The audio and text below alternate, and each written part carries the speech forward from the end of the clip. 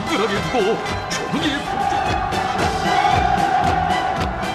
온 세계가 황해군 지휘관들의 총계를 김정석 해군 소장이 인솔하고 있습니다.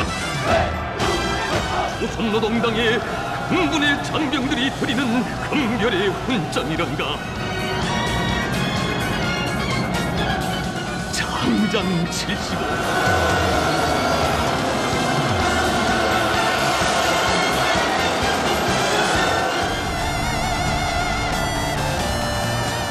초강력 병기들의 장엄한 철의 대하를 맞이하며 원중들은 이 당의 핵전투원들에게